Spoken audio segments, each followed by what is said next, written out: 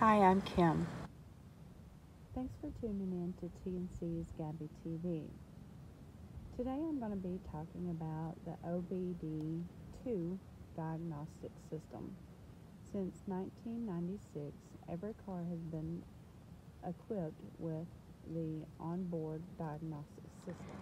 It's a standard gateway into your car's computer to be able to tell you if you have um, any issues uh, with your car. To be able to get the information from your car's computer, you will need one of these OBD2s.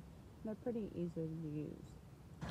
You just want to uh, plug it into the port under the dash, and you'll find them right under the dash, right where your knees are. So it is dimmed pretty deep, and I'll show you a picture of it.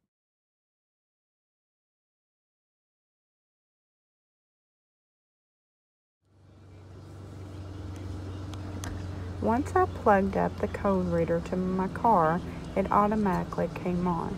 But I needed to turn my car on in order for it to pull the codes out of the system. It's a really easy process that anybody can do. I did have an anti-lock brake light come onto my car, but there were no errors given, so I would be taking my car to the shop.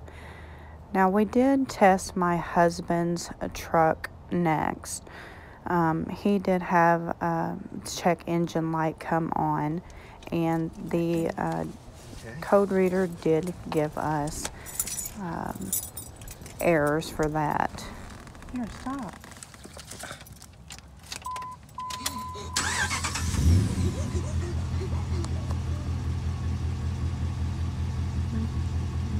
Four O2 sensor circuit high voltage bank, two sensor one,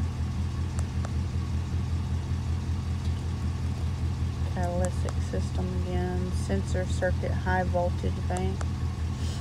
There's two errors it looks like.